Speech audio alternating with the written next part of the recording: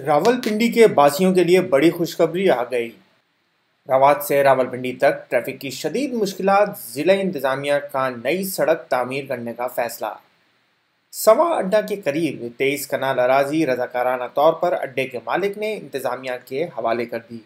नई सड़क की तामीर से मरकज़ी शाहरा समेत डिफेंस चौक पर ट्रैफ़िक जाम का मसला हल हो जाएगा। मंसूबे से लाखों अफराद को रोज़ाना के बुनियाद पर फ़ायदा होगा। मंसूबे पर काम का आगाज़ कर दिया गया है।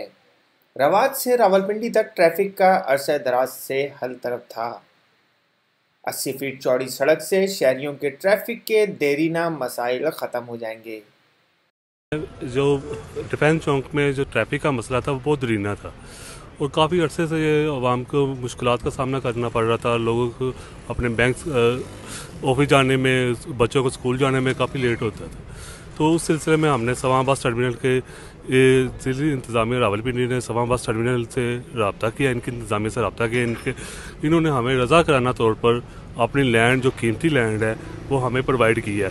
पिंडी की ऑनलाइन डिजिटल टीवी इस्लामाबाद।